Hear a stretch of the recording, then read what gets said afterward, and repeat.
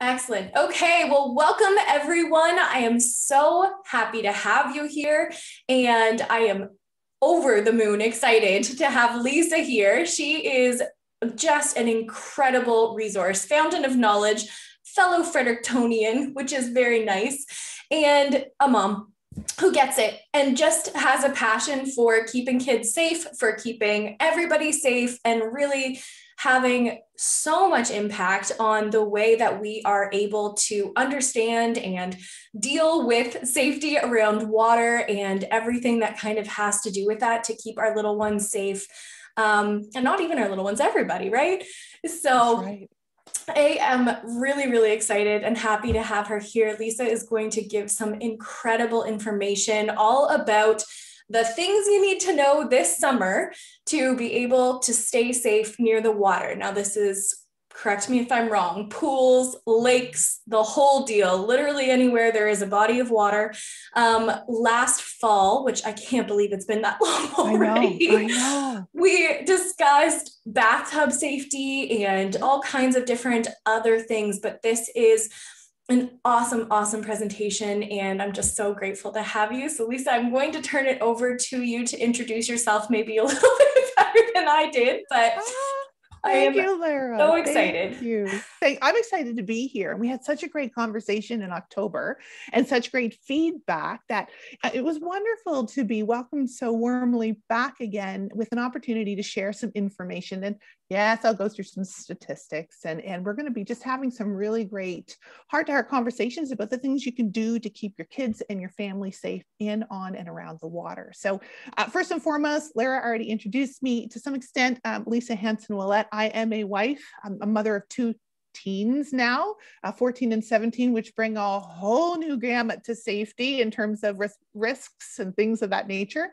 Um, I also have three cats and one dog. So our, our house theme seems to be these days welcome to our zoo so i'm sure many of you can relate to that uh, but here we are, and uh, the mid of you know, in the midst of all of this, uh, we still juggle our jobs and still juggle all kinds of things um, as we do as as wives and mothers. So, um, and we do it well. So here we are. I started in, uh, just to give you a little bit of background about me, I started uh, with water safety and drowning prevention back in the mid 80s. And so, uh, you know, lifeguarded, did a number of different things um, in and around the aquatics, I know around various aquatic facilities um, for the first few years going through grad school. And then, you know, I hung up that suit and said I was all done.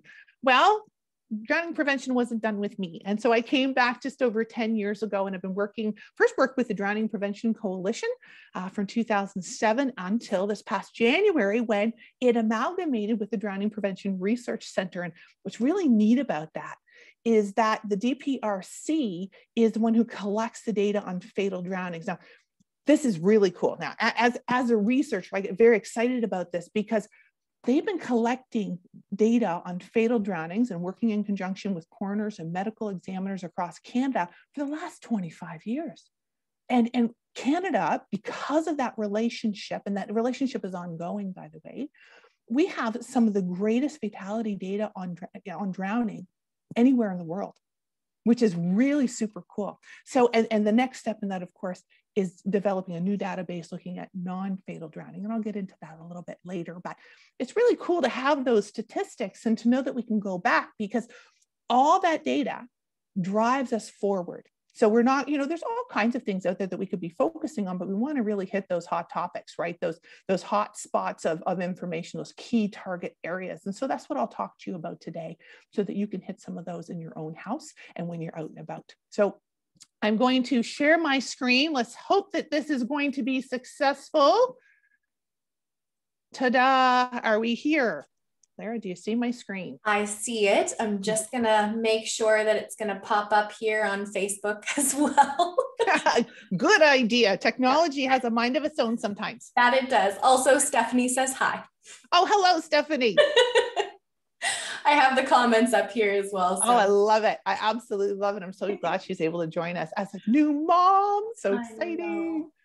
All right, so the, I just titled this drowning child drowning prevention: what you need to know for summertime safety and fun. And we're often, you know, as moms, we're packing these bags, be it a diaper bag, because we're off to go wherever it is we need to go. We need our sunscreen and our, you know, we need our sun hats and maybe an umbrella and our blankets and our towels and all those kinds of good things. We also need to pack some knowledge up with us and an awareness when we, when we move forward. There's an expression uh, in, in aquatics, those of us who have lifeguarded, once a lifeguard, always a lifeguard. And there's no way any of us can sit there, whether we're certified or not. We can't sit there in a, around a pool or at a beach and calmly relax. We're constantly on guard. We're constantly looking for those things. And I, I don't need to be as intense as all of us still sitting there scanning everything, but just to keep an awareness about you um, in terms of what's happening, not only with your own kids, but things can happen around us, right? That impact our safe little bubble right there. And we'll talk about bubbles um, because we have been for so long. All right, let me just uh, see if we can switch the screen. There we go. So I'm going to be talking to you today from a national perspective. I'm going to bring it down to the Maritimes, talk some about Ontario as well, because I know some people are joining us from Ontario. Uh, so welcome to everyone today. And we're going to start off with a few statistics so that you know that I'm not just making this stuff up. Um, and so you have access to this information. It's all free online. If you go to lifesaving.ca and go under publications, you can find the drowning reports. And so I'm just drawing this information from the National Drowning Report, which I'm going to show you in a couple slides time, but this one's about the maritime. So I've circled it here and I've, I've tried to highlight some of those key pieces. So if we think about drowning that happens in the maritime, most of it's taking place between May and October That's not real, sorry, May and September. That's not really surprising to us because we have a relatively short season, right? And so we know that we're waiting for things to warm up. And unfortunately, right across the country, May long weekend sort of kicks all that off, unfortunately. And so who's drowning? Here in the Maritimes, we're looking at nine out of 10 are most likely to be male. And when I'm talking about drowning now, I'm talking about fatal drowning. And, and I'll, I'll explain what non fatal is in a little while. And those age groups most at risk here in the Maritimes be 35 to 49 years old, and then 50 plus. And so there's a few things going on there. We'll be talking about that later. Where are the drownings happening? And you have almost half of them happening in the ocean. And we know that the ocean creates, you know, it's a beautiful spot to be, but we've got rip currents. Um, we have uh, abrupt drop, drop offs in any body of water. We have lots of visitors who aren't really aware of the ocean and, and the dangers that it can impose. And of course, wind carries with it a lot of different uh, impacts on the water and how we react around the water and can read the waves. Some of us are able to read the waves, some are not. We want to watch those balance points with our little ones, but again, we'll talk about that in a moment. 100% of all fatal drownings for children under the age of five come back to distracted parenting or a, a lack of supervision. And I want to clarify as we go through this, um, no one is putting blame on anyone. Parents get busy. You heard, you know, here in my house, there's three cats, two kids, one dog, one husband, lots going on, and anybody can get hurt at any given time. I don't intend for it to happen, nor does my husband, but things do happen. Accidents do happen. So there's no blame game here today. We're just going to talk about the different things and pieces that you need to be aware of as we go. But just, just as we talked about um, in October, Lara, uh, with bathtub safe, safety, things can happen really quickly. You turn around and, and a child can slip under the water. The same thing holds true pools. Um, kids just kind of sink You've got, you know, drop offs or even off balance with sand being uneven in the open water. Any number of things can happen and we get distracted. So what's happening if people are drowning um, while they're swimming, almost half of them have had alcohol in their system. And we will talk about that today too. And just over just over a quarter of them have been swimming alone. And so we have um, with, through the Life Saving Society to swim with the buddy. You never want to go anywhere alone around the water. You need to let somebody know where you're going, have somebody with you, use a buddy system. You can't breathe underwater. And we often think that it's just such a, a natural place to be, such a relaxing place to be. There are dangers with it. And as long as we're aware of those dangers and we, we act accordingly and we plan accordingly, we should be fine. So what were people doing when they drowned in the Maritimes? Some kind of an aquatic activity. Uh, you have 42% were, were boating, and then you have some non-aquatic too. And so we talk, we talk non-aquatic, it could very well be unintentional falls into water, which means they didn't intend to be in the water. They may have been walking along a shoreline and went in to help somebody. They may have been in a dock and fell off. Any number of things can, can be defined in that way. So all kinds of information there. There's more than that for the Maritime Report. Check out lifesaving.ca under the publications and you can have that full report. Moving on, taking a look at Ontario, things are a little bit different. You don't see the ocean here, right? And so you're looking at uh, lakes making up almost half of those uh, drownings in terms of location, rivers about one fifth. Here, here's an interesting piece, and I, I didn't point this out uh, in the last slide, but it was there as well. And you'll see it in the, the National Drowning Report in the next slide. And that is fewer than 1% of drownings occur in supervised settings. And we're going to we're going to clarify what that is. This is a lifeguarded supervised setting, fewer than 1%. So if you're in the within the buoy lines or within the flags or in a pool with with lifeguards on board, you, you've got the added layer of protection. You're still watching your own kids because well, anyone up in a chair on a deck or on, on the beach simply they have to scan a large area. So we always want to watch our own kids and what they're doing and where they're going. Uh, but they actually provide that extra safety net, which is of, of benefit, and the reaction time helps in terms of survival. So we're not looking at fatal drownings. In Ontario, we've got about 92% uh, supervision was absent or distracted when it came to uh, fatal child children drowning, uh, child drownings. My land, the tongue's not rolling tonight. Uh, young adults, we, they showed up in the last slide as well. And so 93% not wearing a life jacket. We're really going to hit home tonight about the importance of wearing a properly fitted PFD, personal flotation device, or life jacket. And I can define the difference between those. And if I don't, Lara, please remind me to define the difference uh, because they do slightly different things and they're both beneficial. And as long as you got one near, nearby, well, there's benefit to it. Again, most people were doing an aquatic activity when it happened. You've got about one fifth for boating and 18% for non-aquatic. So, and last but not least, you've got May to September again as, as those hot time, uh, hot time zones in which these occur. So when you look up the national reports or you look up the provincial reports or the regional report, as in the case of the Maritimes or the territories, they look like this. They're, they're just two pagers. There's a, there's a full national report as well that you can access. But here's the one from 2020 and it, it has great infographics on it um, to be used. These get updated. Uh, we have more that will be coming out this year, though some are limited just because of a limited availability of information with coroners and all that's happening with the pandemic. But you'll see nationally, you still have 66% of all fatalities happening between May and September, fewer than 1% of drownings taking place in, in lifeguarded supervised settings. You'll see those bathtub statistics there. And the ocean overall nationally is only 7%, whereas it was considerably higher here in the Maritimes for obvious reasons. So you're always looking at different uh, places and spaces and communities in particular. So if I think and look and look back to the work that I'm doing with the Canadian Drowning Prevention Coalition, yes, it's a national coalition, but we work with community-based coalitions as well, who use these reports to guide them in terms of what they should be focusing on in their own communities. And they'll have additional information, right? The, the little itty bitty details that we may not have. So if we're looking at a place like Fredericton and we're looking at our beautiful um, Wolastoq River, our St. John River, then we have all kinds of beautiful walking trails and we have a beautiful walking bridge, but there's no life-saving devices anywhere. And if you take a look in the summer, you see boaters out, no life jacket, no life jackets on kids.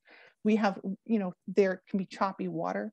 Um, there can be currents taking place in the river year round, actually. So we never want to trust the ice necessarily because it weekends underneath, but we won't talk about ice right now. We've gotten rid of it, right? So there's all kinds of considerations in individual communities. And so I'll put in a plug right now that if this is something that you're interested in starting or being part of in your own community, you can always reach out to me and we can have a conversation because not all communities have them yet. Some are just establishing and we really want to get that rolling because we know for a fact that for as much research as we do and as much information as we share, the real work happens on the front lines. So uh, we fully acknowledge that and, and we appreciate it greatly because we work together as a team. So let's take a look at our little uh, our, our, snapshot for summer. How do you get ready for summer? We're going to look at backyard pools. We're going to look at open water. And we're going to look a little bit at recreational boating. And so you'll see in these three pictures, we have a backyard pool. And we already have a big hazard right in the middle of that pool. We've got a nice, colorful, happy ball that's just screaming, somebody come touch me or grab me, which of course, pardon me, I'm just going to mute myself. I have a tickle. And I think it has everything to do my seasonal allergies because I've been working and, and my kids have been schooling here at home, so we don't go anywhere. Uh, but allergies just find me anywhere. Um, if we're looking at open water, we have uh, a child here, been fishing with the parent. Parents taking a step back, take the photo. Wonderful. And he's so cute, isn't he? And he's around the water. He may not be in the water, he may not be on the water, but he is around the water. And for that reason, he could easily slip and fall. He could be slipping and falling, and yes, the parent may be there. The water may be deeper than he can stand or before the parent gets there, or he may accidentally hit his head on one of the rocks that are there. There's all kinds of possibility. So even when we are around the water, especially if we have more than one kid, right? We only have two hands and, and young children should be within arm's reach. Literally, they move quickly, right? For those of us who have toddlers, I will never forget that in a million years. They move fast. So we always want to keep uh, within arm's reach. And, and those PFDs and life jackets are very helpful, even for us if we're managing kids and reflecting back on years of instructing in a pool setting and having instructors take their four or five year olds uh, into the deep end. All the kids have PFDs on or life jackets on, but they think it's funny to climb on top of the instructor. The instructor's stuck underneath. These little guys and gals get very, very strong in the water, especially when they think they're being silly or especially when they're frightened. So we always want to be aware of that. So that's why you'll see your swimming instructor in with a life-saving device of some kind for their own safety and protection. And if you see this picture with recreational boating, everyone's wearing a PFD. So I talked about PFDs, personal flotation devices. They're the pieces that come on and they just fit like a vest and then they clip. So you're going to notice, especially with the picture in the middle, he's got lots of flotation in the front of his body, some behind his neck, and a little bit at the top and the upper part of his back. And what that does is it's going to keep him up. It won't necessarily flip him over. There's not a, an an abundance of flotation or buoyancy in the front, but it will certainly keep them up. A life jacket is one of those things where you have a big, thick piece behind your neck and it's only coming in front of your body. And they're really, really thick and bulky and they're not as comfortable to wear. But if you were to land on your on your face, uh, on your tummy in the water, all that flotation wants to be in the top. So what happens? It's going to flip you over. So, and of course, because it's behind your neck, you're coming back to keep that airway open. So there's different benefits, but we want to be able to be able to move. So that's why people like the PFDs. Uh, you'll also find that if you're looking for a Transport Canada approved PFD, which is very important, you won't find one for children under 20 pounds. And I believe that's eight kilos, Lara, somewhere thereabouts. Yeah, more or less. So you're not going to find that. It's, it's, really hard for Transport Canada to do, but it is something that the Canadian Drowning Prevention Plan talks about and is really uh, recommending happen. Even, you know, we can find all kinds of things, but we can't find that. But the point is to make sure that you have a PFD on your child, especially if you're a boat. All right, let's look at backyard pool safety. So I divide this up. We've got some safety items to consider and we have some spring safety checklists, okay?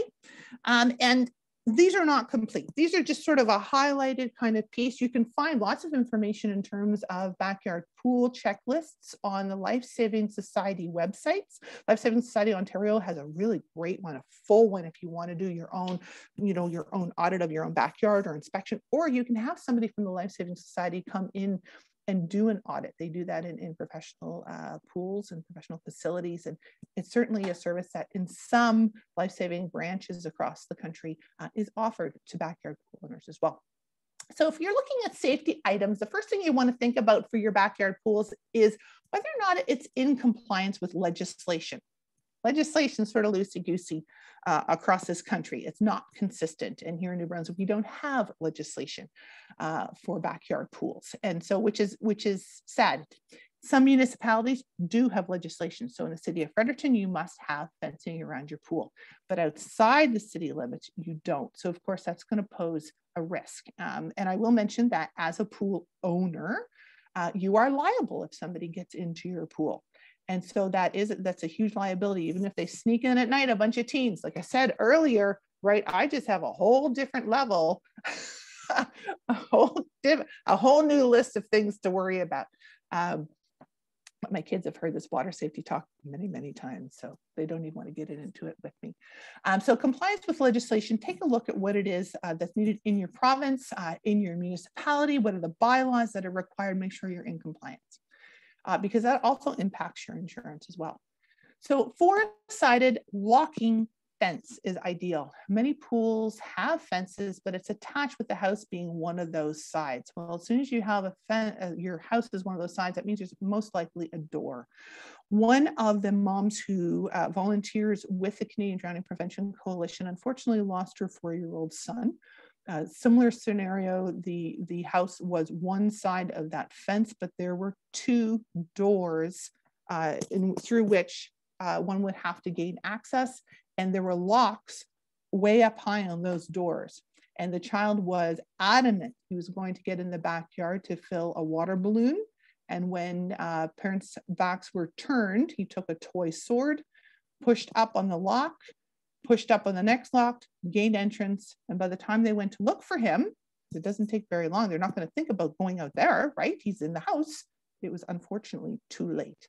So her message is to always be aware. And again, no blame game here. Uh, many kids, lots of things going on. I believe she may she may have been off bathing one child, the, the dad somewhere else. So things happen. But using that the the house as one side of the fence is not the safest option. Four-sided uh, fence is the best alarms and cameras are, are all over the place now.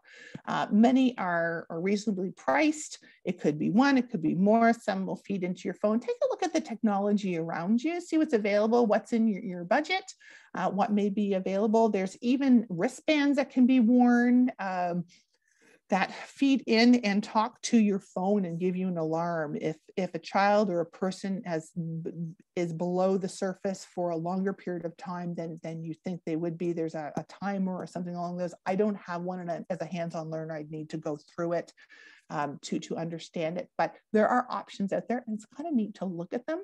Some of them are listed in the Canadian Drowning Prevention Plan. If you gain access to the seventh edition, again, it's all free. If you, you look that up on cdpcoalition.ca under publications and you'll gain access to the seventh edition.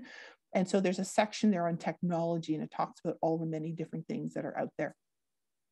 So look at lighting as well as a safety item. So a lot of people like to swim at night. If you're swimming in the dark, that's rather dangerous. But even during the day, um, if you if it's raining really hard and you can't see the bottom of your deep end, many of the public pools will have a black dot in the middle of their deep end. And if you've ever wondered what that's for, that's for visibility. So if you can't see that black dot clearly, you're not going to be able to see a body in the bottom of the pool. And and I'm not mincing words there. That's just that's just the way it is. So you can do the same thing in your own pool paint a dot in the bottom, take a look, see what you can see, make sure that there's lots of light around. And if you do have evening swimming, lots of light shining on that water so you can see it at all times. Uh, life-saving devices in and around, much of the legislation would require you to have a shepherd's hook, uh, life-saving, uh, a ring buoy, and maybe life jackets around. You could use noodles, all kinds of things that can be around. I will mention that a kickboard or a flutterboard is not a life-saving device. They're not very reliable and they fly all over the place. But if you need something as a reaching device and they're close by, you just grab a hold of that thing.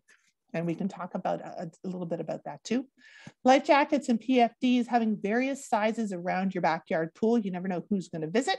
These days probably should considering the pandemic, but that aside, this will hopefully not last forever and we'll be back in business. So various sizes, you can pick them up in different places. Take a good look at them. We'll talk about the, the spring safety checklist um, in a minute. First aid kit and telephone, make sure that you've got one with you each. So you've got the telephone there, something that has, uh, if it's not, we don't use landlines per se anymore, but if you do have one that has a portable option, make sure that you're gonna have a clear signal. The same thing with your cell phone.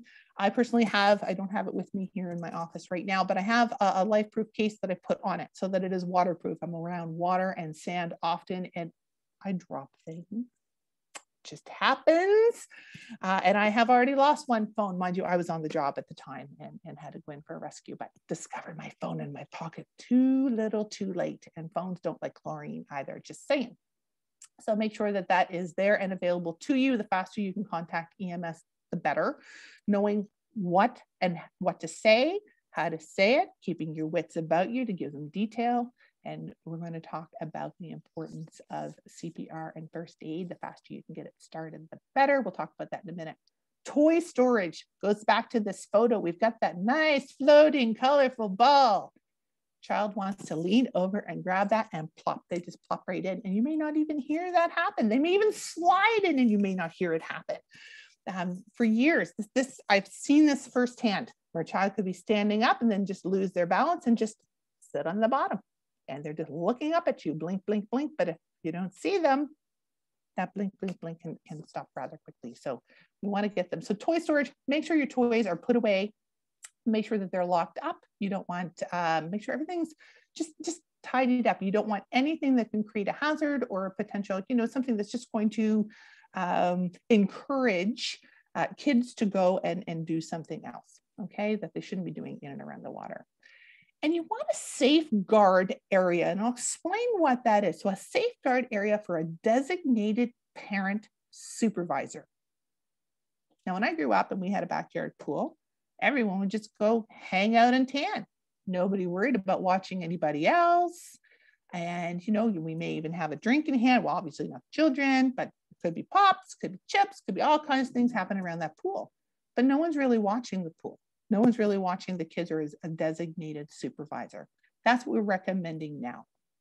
And so this is part of the Canadian Drowning Prevention Plan. It's been mentioned many times, but it is absolutely essential. And you need to have that designated parent who's not going to be on their phone, not looking, uh, reading a book or talking to a parent or preparing food or passing food or answering questions.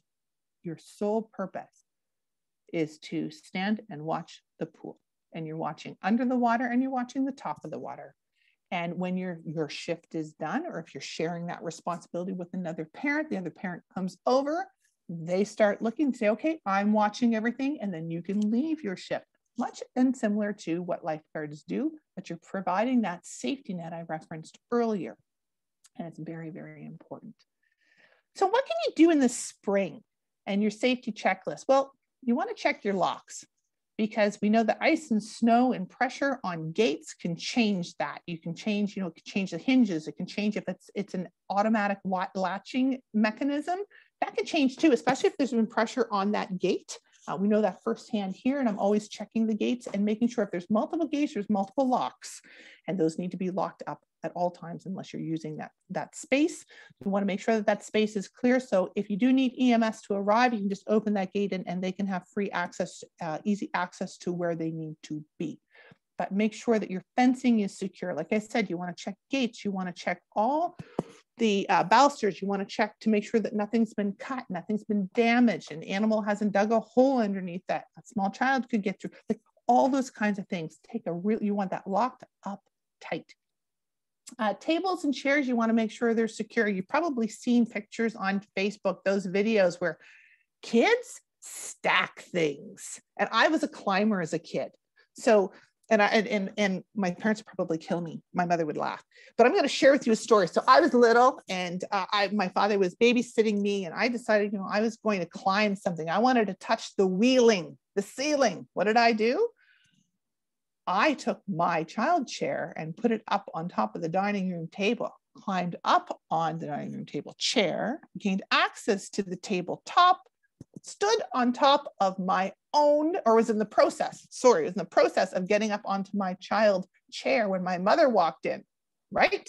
I'm not the only one. There's probably climbers right here, and you can all laugh at yourselves now, but children still do this kind of thing. So they can take those patio chairs, they can take the tables, they can do just about anything, stack and gain access. So even if you have an above ground pool, which is four feet high, you can have additional fencing around the top of it. You could secure, make sure that those ladders are locked up to that fence so they can't, or locked up in an area that they can't gain access or move them. When a kid wants to get somewhere, they will figure out a way.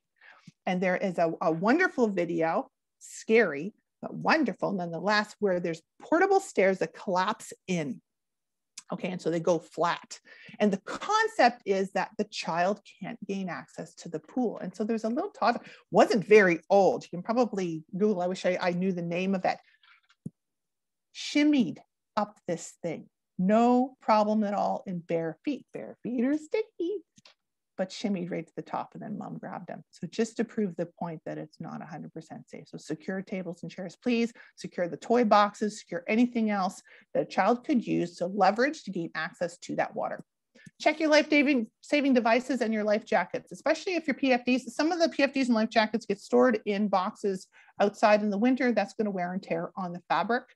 Uh, so make sure that, you know, if you're going to put those on, you don't have some weak part of the bottom where it's frayed and then the, the layers, because it's put into layers inside and you don't want those slipping out. That's entirely ineffective, kind of lopsided, not going to really work. Life-saving devices, make sure nothing is rusted and falling apart, especially if there's plastic pieces that wear and tear in the winter. We don't always have space inside our homes where it's warm and insulated to secure them. Quite often, a lot of the stuff ends up in a shed, under a deck, um, where it's secured, or even under a tarp in some cases, right? But we need to make sure that it's all checked and safe. So check your toys over. The same thing holds there. Inflatables.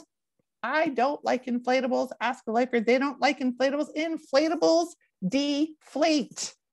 So water wings, forget them. Just forget them right now. Don't even bother. They're not a life-saving device. You inflate them, you're putting them on the arms, the kids jump in and boom, they come right up.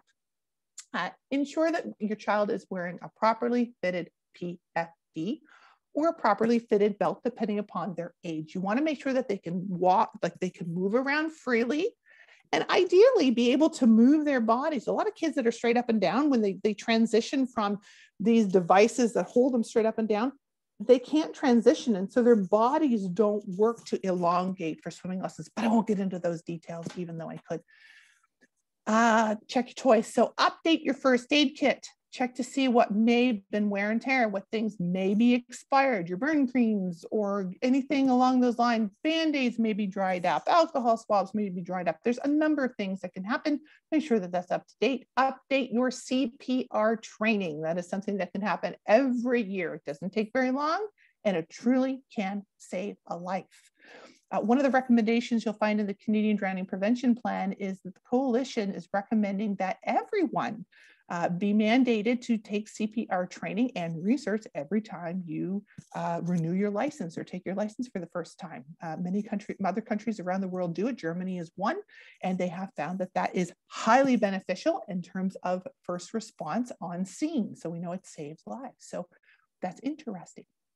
First aid certification, you can never go wrong with having first aid and CPR. Simple, it's fun to do. It is entire it, it just keeps your mind where it needs to be when something happens and it allows you to respond quickly enough so that if you do need the help of uh, nine you know 911 or ems services it's just going to give you that extra step ahead to help someone and to help them survive uh, taking the safeguard program. So I talked about a safeguard area for designated parent supervisor. There's actually a program that's out there. It's called Safeguard, again, offered through Life Saving Society. Just runs you through some really brief ways of, of uh, tips and tricks on how to supervise uh, kids in different settings. So sometimes it's for, for caregivers. It could be for daycare workers. It could be for anyone who's taking care of children. It can be for parents, you name it. Everyone can benefit from doing this and you get what's called an on-guard card. I don't have a photo of it here, although there is a photo coming in the eighth edition of the plan coming out in, in early May. And it's just the reminders of what you need to do. And so whoever's wearing the on guard card is on guard. They're responsible. So as, when I talked earlier about the transition from one parent to another, uh, watching the pool, well, second parent would come over and say, okay, I'm now watching the pool. So they're not looking at each other.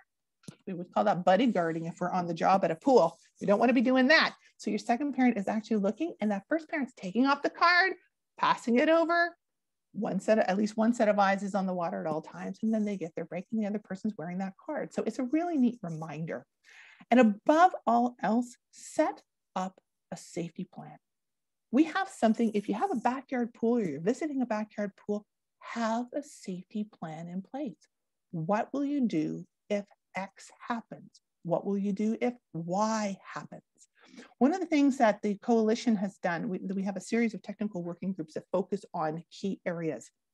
And one of those key areas is supervised settings. And when we started this process, supervised settings meant lifeguarded settings, but it's evolved. Like, uh, supervised settings now includes, it, it can include, you know, outings for canoe trips. It could be any, it could be a school outing to a, a, local beach or a local pool, right? It could be any number of things. So they have created a new definition, constantly updating that. But above all else, it said you need to have a safety plan. And so I think that that's really relevant for all parents to have too. What happens if? Have that plan in place. You're going to have peace of mind if you do that. And, and what role that can also include not only the, the equipment that you're going to need, but role, what role can other people play? What happens if you had guests? What, what role do each of them play? All right, let's switch to cottage and open water safety. So the, a lot of the stuff you're going to find is repetitive. Some of it's not. So again, compliance with legislation, if there's any, signage and markers. So similar, similar to going to a supervised beach, you have some buoy lines. Well, maybe you have a designated area that you know is safer for children. It's much more shallow. You could have a marker before a drop off. You can mark any number of things. Um, I think in our conversation in October, uh, Leanne Boisvert, one of our leaders uh, for the technical working group with the coalition, uh, she she said that at their family cottage they have a marker on the beach and the kids are not permitted to pass that marker without two things a parent and a PFD or life jacket, period. That is the rule. There, is a, there are markers there that you cannot pass this. Not to say as kids get older that they won't try it. We know that we're realists, but we want to set things up for success. Again, alarms and cameras, lighting, life-saving devices, life jacket PFDs, various sizes. You never know who's going to visit or what you can use them for. So if you are in a situation where the wind might pick up and, and the kids might be floating away and you need to help get them in, for goodness sake, never go in the water after somebody without having a life-saving device. We use them professionally uh, when lifeguarding. You should do the same thing and try to keep a distance. Um, we are talking more about how to work with um, lay rescuers, we, we would call. So individuals who wouldn't have all the same training as a lifesaver or a lifeguard, but providing that level of understanding awareness and safety if you do have to go in after somebody. So life jackets and PFDs are useful for that as well. Throwing, reaching, um, any number of things. So again, first aid kit, telephone, a secure boating area. You don't want boats to be hitting people. Uh, you want to make sure that they're properly moored, docked, tied, or you know, if a kayak or canoe that they're properly you know brought up on on that beach in an area where the kids can't gain access. Uh, safeguard area for a designated parent supervisor. The same holds true. The challenge with open water, it, it's, it's very different than a pool. A pool, you can see the bottom. Open water, that's not going to happen. And so you need to be really aware of where everybody is, what their swimming capabilities are. Because a search, I can I can tell you firsthand, searching underwater is not fun. Uh, and there's there's a lot of different layers to doing that. So now that being said, if you do need to go and help somebody, ensure that you have some kind of a boat or something if the water does go way out that you can access. If you're in a boat, you're much safer being in that boat to try to help someone than you are going out on your own. So the closer you are to the individual, uh, the higher your risk. So taking and taking that into consideration when you do your safety plan and anything, there's all kinds of things that float. Um, even a wooden door will float. Uh, so not saying that that's ideal, but thinking outside the box if you're really in a pinch, um, but reaching, throwing, uh, using a boat, using your paddles, whatever, but try to keep a distance if that, if you're stuck in that situation. What's your spring safety checklist for a cottage and open water safety? So uh, again, locks if they're working, you know, there may be an area for the toys, right? So you want to lock those up. Uh, fencing, make sure if, if that's applicable, that that is secure. Tables and chairs, again, secure. Uh, check your life-saving devices and, and your life jackets.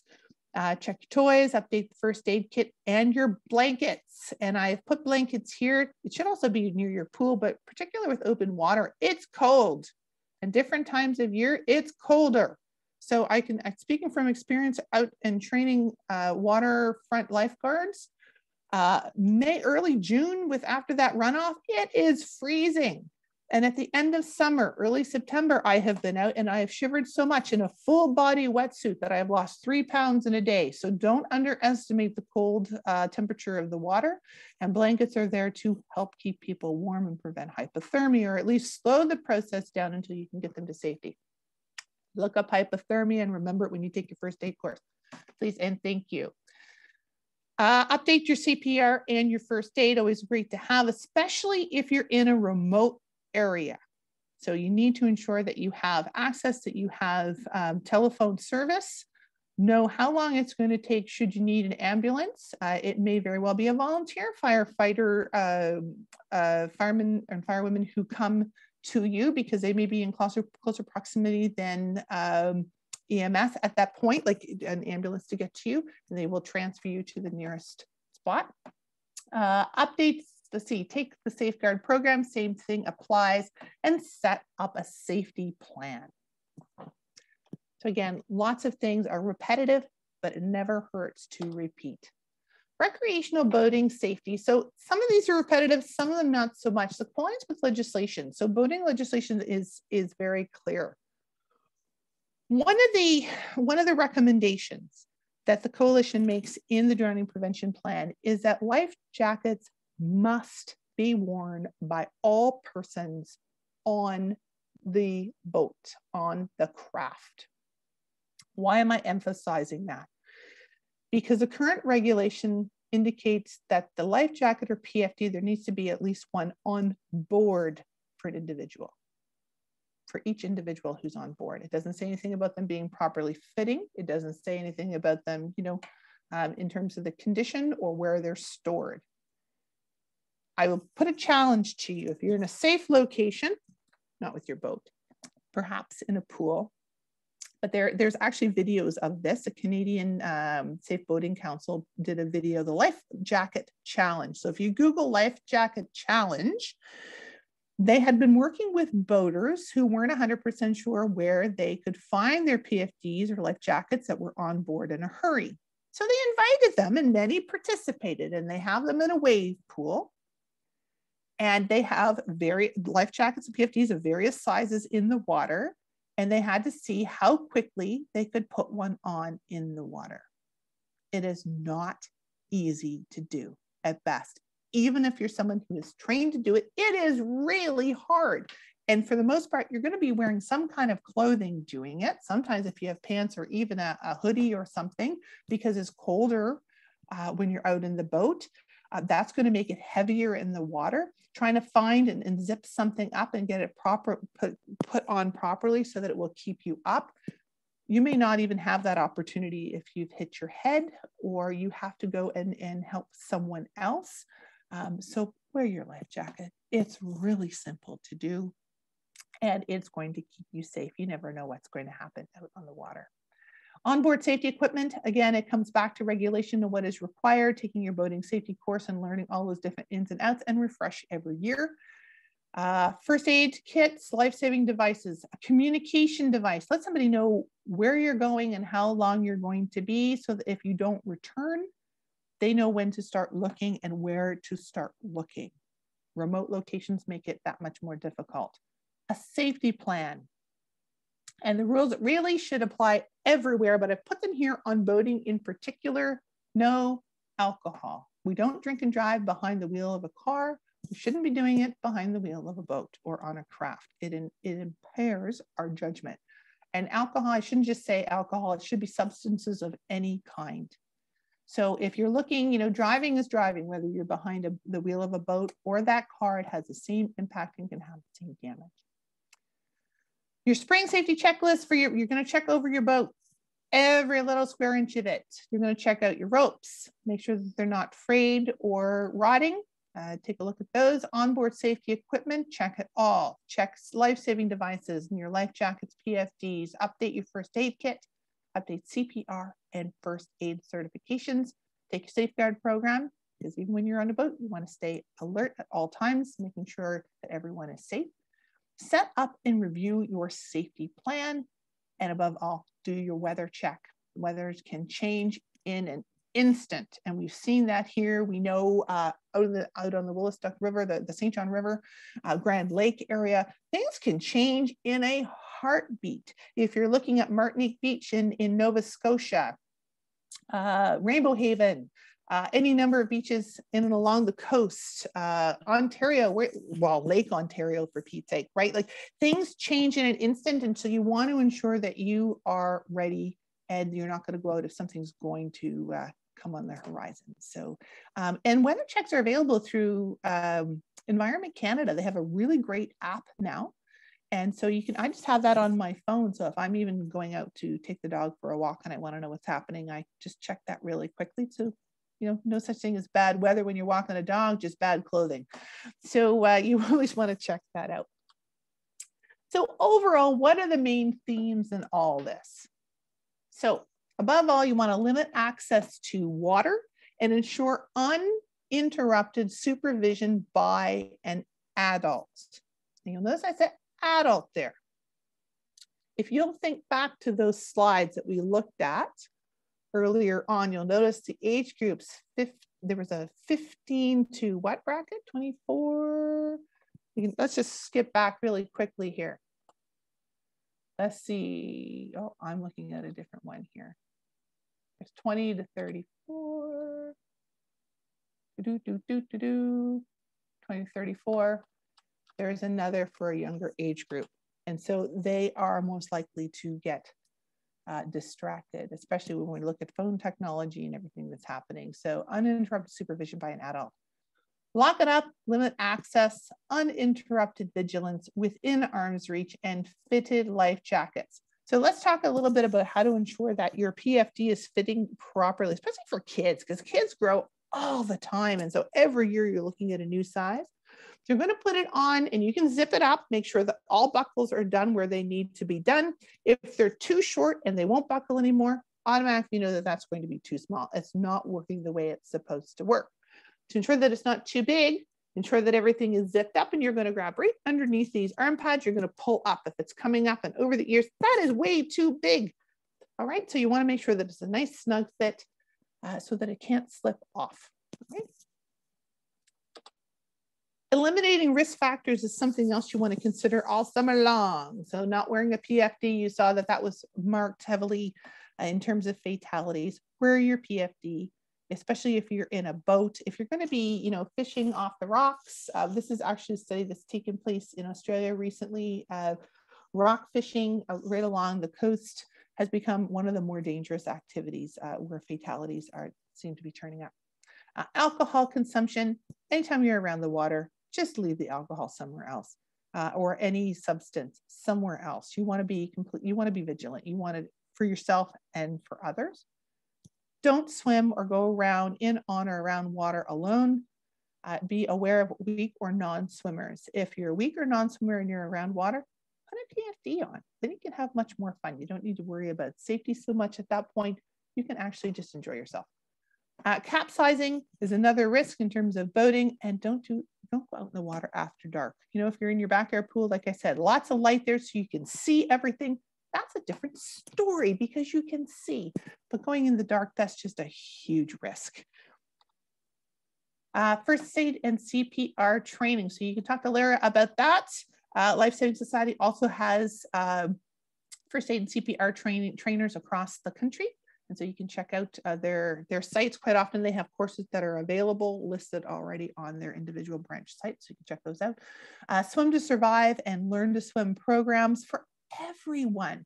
Now, I'll, I'll, mention swim to survive for a moment because it's, it's really a simple concept. And survival swimming and basic swim skills are some of the, the most uh, simple, but they are life skills that you need. And so, for someone to survive, you're learning how to, you're disorienting yourself by rolling or falling into the water, you're treading water for a short period of time, and then you're going to be swimming a distance and coming back. Now, that could have be with a life jacket or PFD on or without.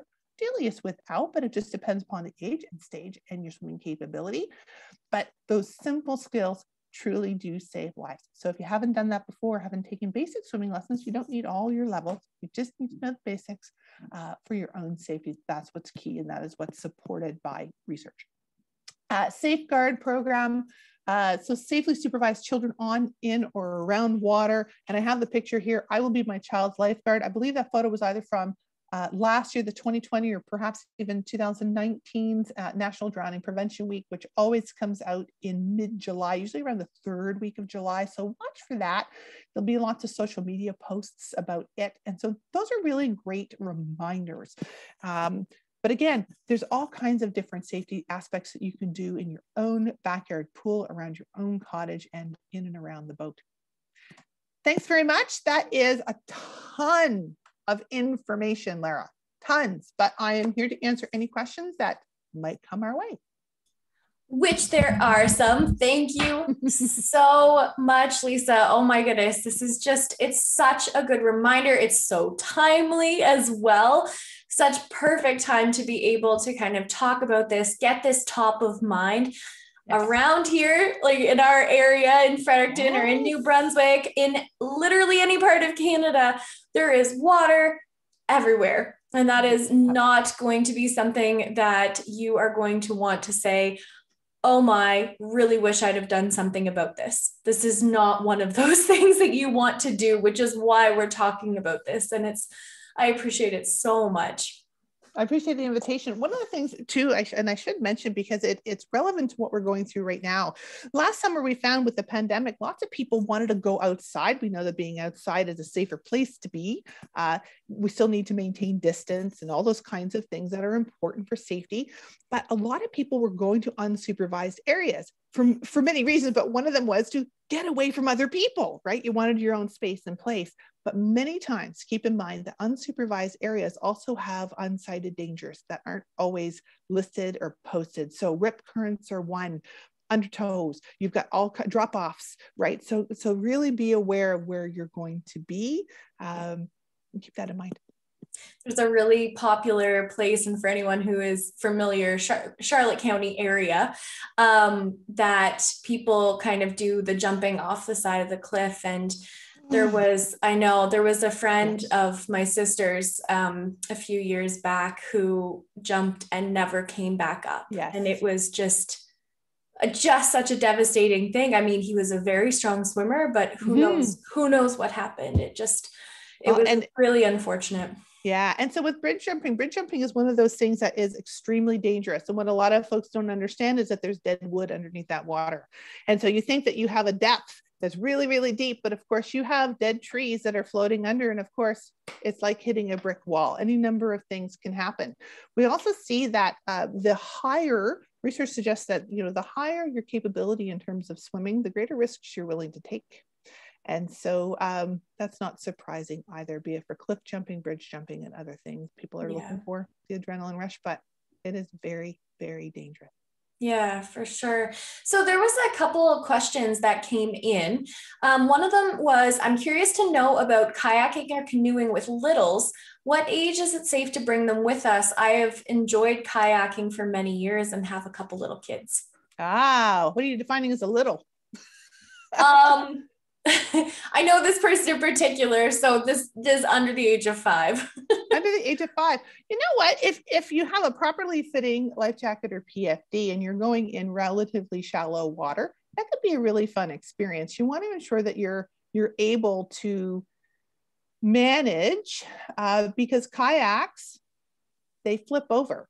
So what, you, what are you going to do right? And so really look at all those different pieces in terms of your own safety and that of your little oh i love that term. Um, i'm good i'll have to i'll have to remember that one. So thank you for adding that to my vocabulary.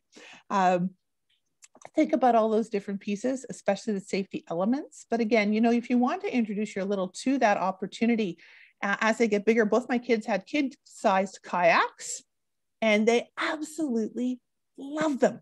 They were, they were, they were a blast. And so, you know, they, they weren't with me on mine, but starting out. And so we wouldn't go very far and we were in a lake. So I didn't need to worry about undertows. I didn't need to worry about rip currents. I had a very still body of water that was very uh, consistent. And so um, they had all kinds of exposure.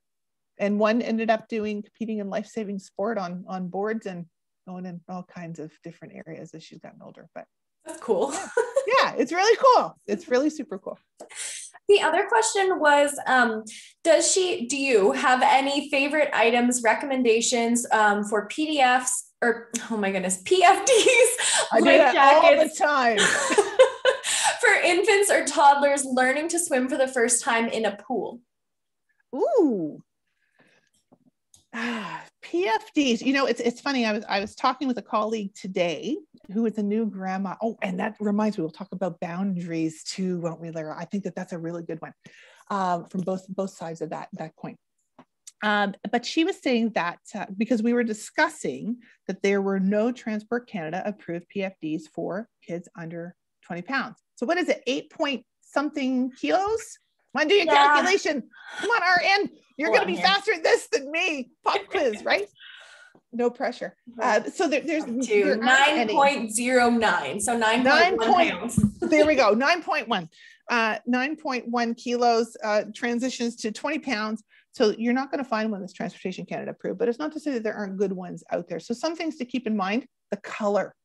So if you're, it, there's nothing that beats yellow, orange, and red. You want it to be super bright because anything that's white or dark colored, or even something that can be, you know, it looks like a reflection on the water. Because if that child is left alone because of an incident, you want to be able to spot them quickly, or you want somebody else to be able to spot them quickly and go after them. So, color is going to be really key. The fit is really important. Uh, my colleague actually prefers uh, Silas or Salus, sorry, S A L U S is one of um, the manufacturing companies. And so uh, they produce a lot of uh, life jackets, or sorry, PFD specifically for kayaking. So you'll see that um, where to find. I don't know. This is actually a conversation we had this afternoon in advance of this this talk tonight.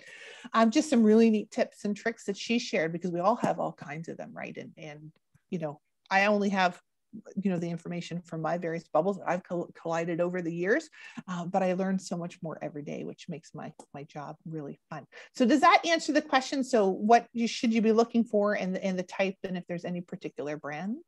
Yeah, it was it was mostly just around kind of infants and toddlers learning to swim for the first time. So okay, um, yeah, know, I've got more to add to that. Okay, so let's roll up the sleeves for this one. I mentioned no water wings uh, no puddle jumpers. Oh, nothing with the tubes that go around a child's body. If you, I don't know if they're still even available, but they look like a little vest that you slide on. There's a tube around them, keeps them up this way. Well, if they turn upside down, guess where it keeps them? Upside down. Um, and so if you think about swimming, uh, when you're older, okay, so when the, when you're little gets older, in order to float or to glide effectively, they need to elongate their body which means staying on top of the surface. So if you're using something to help encourage them to swim and move in the water, you don't always want them straight up and down because that's defeating the purpose. And so what often happens when kids do that transition, they do the tuck motion. So their upper body's like this. And if they stay in that little feet, I can't do this on a video. If I'm in person, I can crunch myself up because I'm very expressive, as you can tell. But they crunch up their legs underneath them and then their butt comes up. So they have this little pop up. And that's really indicative of them not elongating their body or having had that training, that physical memory to do that from a young age. So if you have them in something, especially a PFD, they can stretch out their body. They can stretch it on their back, they can stretch it on their front. You can say, you know, come touch my fingers, and they stretch themselves out towards you because the more that they elongate that body, the, the younger that they are, the better off they're going to be. They can blow their bubbles through mouth, through nose. They can have all kinds of fun. And for the for the tip to get the bubbles through the nose, just have them hum. hum a, hum a song because when the air comes out, the water can't go in. So there's all kinds of fun little tips and tricks and have fun with your littles in the water this summer.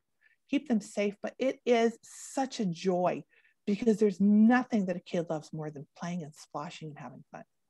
So, so, so true. Oh, yeah. Oh, yeah. I love it. So I have been a fish my whole life, but I love the water. I'm, I just need to get my son. This is one of the things is, you know, I know um, and we're going to talk just in a second here about kind of grandparents and yeah. welcome Lacey. But um, one of the things, like my dad has a pool and it makes me super nervous because, you know, we didn't have one growing up. We didn't have, we weren't around them a whole bunch. There is not a lot of safety measures in place. They are also outside of city limits. So it does make me very nervous knowing that that is sure. there and that you know, I'm not going to be able to watch him at all times myself. So what would you think like when you you had mentioned boundaries and stuff? Um I'd love to know a little bit about how to kind of navigate that situation. Sure. And it can go it can go from two perspectives, right? So parent to grandparent, grandparent to to new parent or to you know, because our parents still see us as kids.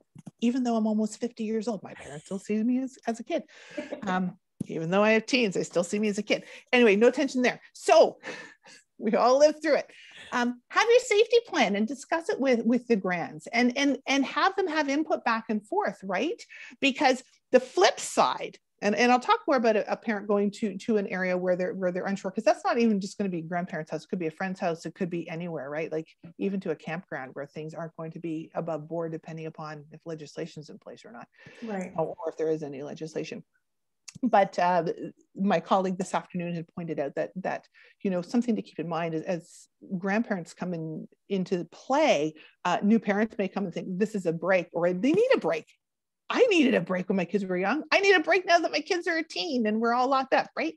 But um, we don't want to bring in the alcohol or the books or whatever. When the kids are around the pool everyone has a role to play. So it comes back to that safeguard program right? Who's the designated at any given time and so you can share that role around and make sure that your communication is really clear, whether it is at a pool or at a cottage, because quite often our parents are the ones who are owning the cottages. We're still too young and poor to own them, uh, but we may have access to them. And so have those designated points. Again, it comes back to that safety plan and that open dialogue that's going to be important. What do you do when you go to a place? Um, you know, and I can just think about my own neighborhood, right? And nothing against my neighbors. I love my neighbors, love my neighborhood but we're outside the city limits. And so a lot of people have pools and there's not going to be any fences. And so um, an above ground pool, it's harder for a child to get up, but we talked about how they can do that really easy and they can shimmy if they want in somewhere, they're going to find out. Or if they're if there's a team of two, then you're really in trouble. Okay. So fencing is the, the key piece in all of that. You want to restrict access at all times. One of the things you could do if if you're into technology, you could get one of the wristbands that go on. I mean, you can get watches for kids with GPS sensors in them now for the same price as a, as a watch. Uh, but you can do, I don't know what they go for, but you can have a, a wristband and it actually sends a message or a signal, an alarm to your phone. So um, if there's any entrance into water, then it's going to sound the alarm. You can take a look. There's all kinds of products, and there's some of them discussed in the seventh edition of the plan. I don't remember them offhand, but they're written down and I told you where to find it. So that's always good. Um, you, you really do want to have that dialogue and you want to ensure that no matter what, there has to be an, uh, like a, a concrete rule that the, your child does not go in the water, one, without a parent within arm's reach, and two, without a PFD or life jacket on, period. Like that, this just, there's just some pieces that are just uh, non-negotiable and there needs to be an understanding about that. Uh, kids can can slip under it happens so fast. And uh, even even as I, I, can still picture um, some of the kids that i've pulled out over the years. And they might be just right under my feet. I could be on the deck and looking down and boom they were just there. And i'm purposely positioned by the drop off right? Um, and i flatten myself on the deck reach down and grab and pull them out. But if you're not right there you're not you're not necessarily going to get there quick enough so that's why these technology pieces are really kind of interesting and coming into play now um, whereas we didn't have those for many, many years. So, uh, but alarms on gates. Um, any, anything in particular that you're thinking of, Lara, and then we can talk through it because we're not, you know, we're not the only ones having this conversation or having thoughts about it, right? Yeah. Well, I think um, mostly it's just getting this understanding and and making sure that everybody is on the same page. I know that there's, you know, with my dad, as well intentioned as he is in so oh, many ways, yeah. and he would never in a million years want something to happen to my son. Yeah. But it just, it's one of those like, well, I mean, I'm gonna be right there. He's in the backyard with me. And I'm like, he that, that he's so fast, like it's not good enough. so that's definitely a conversation that we will be having. And I know he thinks that I am quite strict and adamant about certain rules and safety things, but I've also worked in the nursing field for a decade Absolutely. and I have worked in emerge and I have seen things and yes. I have dealt with, you know, post drowning or or near near you don't call it near drownings anymore, non-fatal, non-fatal. non-fatal drowning. but I, you know, the, it's it's beyond devastating. Like there is nothing okay about it when it is a kid. It is and not to like qualify it or anything, but it is so much mm-hmm. more devastating. It really, you just anything that is preventable I mean, goodness, it really does take two extra seconds to do a couple of checks, and you could never know that that could have been the day that something bad could have happened. Right. You know? Yeah, right. And there's different dangers with the in-ground pools versus above ground pools. So the above ground pool, you may you may have a bit more time, you may not, just depending upon their access. So if there's a chair available, something like we talked about earlier, it can happen really quickly. Um, you know, we we put up a fence when we had our seasonal pool, which we no longer have, but when we had that, we put up our fence, and it was the extra cost, even though I'm not technically required by legislation, but given what I do, if something were to happen, right? I mean, I have that knowledge, and, and now that we have that knowledge, we have a responsibility to, to follow through on that. That's really important. Mm-hmm. But even even if it's just it could be an inflatable pool it could be a kiddie pool kids are you know if they fall face down it could be an inch or two of water right and it, and what it is it's it's about aspirating on water it's about water getting down and into the lungs right and so that's what we're talking about here. And kids play around. They could be you know they come up and they're gasping for air. And, they, and sometimes they, they they cough a little bit because a little bit, but if they're coughing, then that that's closed up, right? So it, it's caught it, it's done its job, but it's when it doesn't, or when the child has been under water for a prolonged period of time and they start to aspirate on the water and breathing it in right? Yeah. so and it doesn't and it, it it's scary stuff and i'm not here to fear monger or anything like that no that's not again, what this right? Yeah. Um, but you want to ensure that everything is covered up. So if you do have a backyard pool of any kind put the cover on it. Make sure it's secure. There's there's secure covers that are out there. Landscapers do it all the time. Um, we have um, uh, someone who is from uh, the uh, Pool and Hot Tub Council of Canada. Wow, that was a, a brain freeze for a moment. and so, but but he also installs pools, and so he was telling us about some safety elements that are available for for pool owners that can help. In addition to fencing, there are covers that that seal it, so it takes quite a bit to get those covers off. So that's another option. Mm-hmm. But uh, yeah, yeah Communi- communication is going to be key everyone's got to be on the same page and it, it can be devastating no, I so appreciate this, Lisa. Honestly, this was filled with gold. Oh, I hope that everybody here has enjoyed this as well. Um, I know lots of you have been tuning in. The replay is going to be available both here on Facebook and on YouTube, and I'll be posting it around and making sure that um, this information is available. Just share it, please, with anybody and everybody who you are going to be in contact with, who has a boat, who has a cottage, who is literally even planning on going swimming this year or not. share, share it, share it, share it with them. And let's hope that we have a very safe and wonderfully enjoyable summer with all of this stuff already top of mind so we don't have to worry about it. Amazing. Well, thank you again, Lisa. Thank you so, so much for coming. I really, truly appreciate it. Thank you for the invitation. Welcome to come anytime. I'm happy to and share whatever information you're looking for at any given time. And of course, uh, reach out to me if you have questions. Um, you can always reach me at lisa o at lifeguarding.com And, uh, you know, check out the uh, drowning reports on lifesaving.ca under publications or get your free copy of the seventh edition of the Canadian Drowning Prevention Plan. The eighth edition is coming out this time next month. It'll be already out, but it at uh, cdpcoalition.ca, again, under publications. So all kinds of free information available to anyone. And I have linked all kinds of them as we've been talking, all Good. the things that you talked about. So anybody who's watching here on Facebook, you can check those out and I will attach them under the YouTube video as well. Perfect. Awesome. Thank you. Have a wonderful night, everyone, and enjoy your summer.